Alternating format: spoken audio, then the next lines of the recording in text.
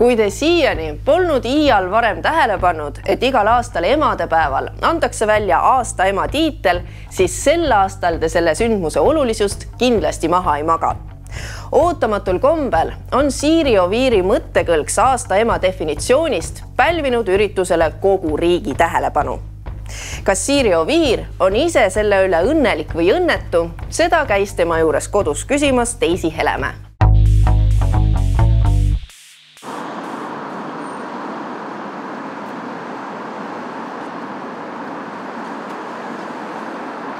olete te kursis, et on, ringleb internetiavalustes anekdoot teie kohta? mis kätkeb seda, et teie iga jõululaupäev tutvustate oma väimehele Mihkel Oviiri. mis te sellistest naljadest arvate? no kui huumorisoon ei ole eestlastes kadunud, siis on ju veel kõik kuidas juhtus nii, et kogenud poliitik Siiri Oviir paljude üksikemade vaenlaseks sattus? oskasite muidu arvata ka, et niisugune skandaal mm? -mm kas aasta ema teie kategooriates võib olla lahutatud? Te ei kujuta ju ette, et, et me valiksime aasta emaks naise, kellel on jah, tõesti palju lapsi, kuid igal jõululaupäeval tutvustatakse uut isa. radar kohtub Siiri Oviiriga reedel tema Nõmme kodus. paari aasta eest lahkus Siiri Oviir poliitikast. ta võttis koera, pani talle nimeks Muki ning pühendus kodule. ta on kolme lapse ema lisaks on tal ka kokku seitse lapselast. suure osa energiast suunab ta Eesti Naisliidule. korra aastas kulmineerub tema töö emadepäeva kontserdiga Estonias, kus kuulutatakse välja aasta ema. sel aastal juhtub see kahekümnendat korda.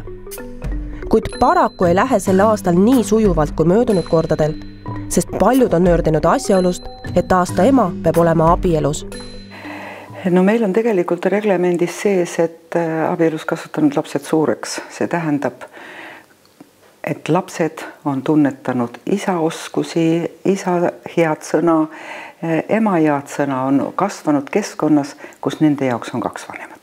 kõik me püüdleme ideaali poole ja uskuge mind, äh, me oleme abikaasaga kolm last üles kasvatanud, on vaja nii isa kui ema ja isa ning ema peavad olema omavahel abielus. kuid Naisliidu eeskõnelejana üheksateistkümnenda aprilli Ringvaates saates Siiri Oviiri poolt lendu lastud lause hakkas momentaanselt elama oma elu ning sellest sai teema, millest kõik räägivad. Oviir ise tunnistab, et läks otsesaates sõnakasutusega rappa. no eks üks minu kahetsusväärne sõnavääratus mida ma oma eelmist elu arvestades, ma olin ikka kakskümmend, pea kakskümmend viis aastat poliitikas, poleks tohtinud juhtuda aga teema on ka mulle väga südames ja ju ma läksin endast natuke välja. nii et vabandan ka teie saates ja see ei ole esimest korda, kui ma kellelegi tegin oma ütlemisega haiget. aga mõte ei olnud selles, et kedagi solvata või kellelegi teha haiget. nii et vabandust need emad, kes tundsid ennast puudutatuna. see oli lause, mis oli selles kontekstis ebaõnnestunud ja, ja ta tegi teistele haiget. see lause tuli selle järgi, eh, et kas lahutatud naine oli küsimus. Eh, me oleme arutanud, seda ma seal ütlesin, me oleme arutanud eh, lahutamise võimalust, aga kohe tekib ka ühiskonnas küsimus, aga mitu korda lahutatud. ja selle peale ma ütlesin, et noh, seda me ei tahaks, et niisugune situatsioon tuleb kordan veel, kui kellelegi see haiget tegi, see ei olnud mõeldud ühegi ema solvamiseks. Liisa on Siiri keskmine tütar, ta on endine ettevõtlusminister. praegu on ta Riigikogus ning Sotsiaaldemokraatliku Erakonna fraktsiooni aseesimees. tal on kaks poega, üks kümme ja teine kolmteist aastat vana. oma laste isaga ta koos ei ela. Liisa lahutas abielu kuue aasta eest Liisa tunnistab, et antud teema tekitab temas palju erinevaid tundeid. suurt muret tekitab temas see, et selles teemas on läinud väga tugevaks vastandumiseks. tekib see küsimus, et kas selleks, et olla hea ema, peaks olema ema abielus. noh, ma kindlasti ei ole seda meelt. et see, mis tema mulle on õpetanud, on see, et pere on elus kõige tähtsam. ja, ja pere peres on tingimusteta armastus, on tingimusteta toetus. ja ma toetan teda ka siis, kui äh, meie arvamused ei pruugi ühtida. ka siis toetan ma teda möödunud nädalal toimus Tallinna Ülikoolis Eesti Naisuurimuse Teabekeskuse konverents. neljapäeval käis kohal ka Siiri Oviir, kes Naisliidu esindajana osales arutelul ettepanekuid naiste ajaloo esiletoomisel see inimene, keda nüüd aasta emaks valitakse, peab muretsema selle skandaali pärast, mis selle ümber on?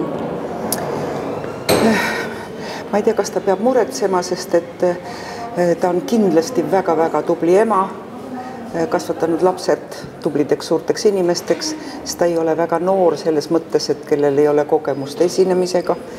aga jah, mure mul on kas seda saab kuidagi või kuidas seda nagu lahendada annaks niimoodi käigu pealt? Mure mul on, et, et teda ründama ei hakataks. Eh, nii et eh, ta on üks meie tuhandetest ja tuhandetest tublidest emadest ja minu ütlemine on küll, säästke teda, tema ei ole milleski süüdi konverentsil olid kohal ka need, kes antud teemas on Oviiri otsesteks vastasteks. mitmed Virginia Woolf Sindegarda grupi liikmed, aga ka näiteks Naised köögis, kes Siiri Oviiri sõnavõtust ajendatuna populaarse räpi tegid tahtsin ennast esitada aasta emaks, läksin komisjoni ette, tegin ennast kenaks, ütlesin, et ema olen olnud pikka aega, kuid tädi. Seal laua taga lõikas nagu saega, mis nimi, kui vana, mitu last ja kellega. ühed tegin sellega ja teised tegin tollega, kolm on poisid, viis on plikad, isad jõid end põhja, võtsin lapsed kaasa ja kolisime puhja. Te olete varasemalt öelnud, et te tahaksite nende inimestega, kes ei ole rahul, nagu ühe laua taha maha istuda ja vestelda. Oli see näiteks eile, oleks olnud võimalik, sest nad olid ju sealsamas, samal samas kohal. Nad hoidsid meist eemale aga mis tund-, päriselt ausalt, mis tundeid see tekitab, kui te seisate, te ootate, ma ei tea, esinemist no,? nüüd on, nüüd on olnud juba mitu nädalat seda eh, niisugust eh, kivide loopimist ja ma arvan, et, et eh, võimalust kokku saada, me ei ole ju teineteisele võõrad, me teame, kes on Naisliidus, kes kuuluvad eh, Wolfitaaride hulka. Eh, kui neile midagi ei meeldi siis nad oleks võinud meie poole pöörduda.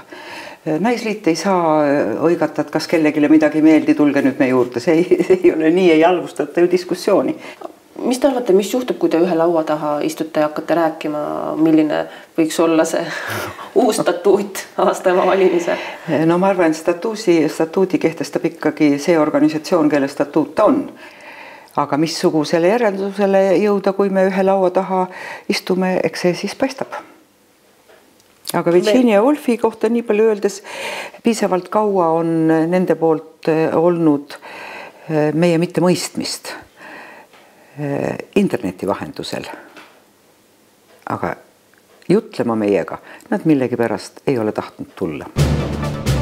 feministide gruppi kuulub Facebookis üle kuue tuhande inimese. grupeeringu ladvikus on mitmed tuntud inimesed, näiteks poliitik Oudekki Loone, vabakutseline ajakirjanik Hille Hanso ja henna asjatundja Katrin Alekand.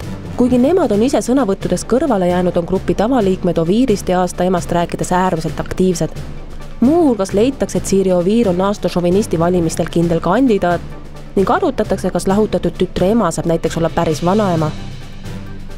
isiklikke rünnakuid on mitmeid. üks teravamaid väidab, et Oviir ise aastaemaks ei sobiks, kuna ta on oma lapse valesti kasvatanud, sest ta on nüüd üksik ema aasta emaks ei sobi naine, kes igal jõululaupäeval oma lastele uut isa tutvustab. loomulikult on Siirigi kuulnud ansambli Naised köögis värsket hitti Aasta ema, millele Kristiina Ehin tegi sõnad ajendatud just nimelt Siiri Oviiri sõnavõtust. muide, Naised köögis liikmed Ehin ja Sofia Joons kuuluvad samuti feministide gruppi Virginia Woolf sind ei karda. kihvtid noored naised nii et äh, ma ei tea, mikspärast ei, mikspärast arvatakse, et kui, kui ähvardad ja teed laulu, äh, noh, peale niisugust, mul on ka selgroog ja päris särge, peale niisugust mina neid küll otsima ei lähe. mu ema on olnud no vast kolmkümmend aastat kindlasti äh, ju avaliku elu tegelane, nii et ja tema see poliitilise karjääri kese on olnud siis naisõigused ja, ja sotsiaalteemad. ehk siis ta on tegelikult olnud kogu aeg väljas nõrgema poole eest. nii et äh, mina tean, et ta hetkeks ei mõelnud kuidagi midagi negatiivset üksikemade suunas ega ka kellegi teise suunas, et äh, ta, äh, ta päriselt on inimene, kes, kes austab erinevate inimeste võimalusi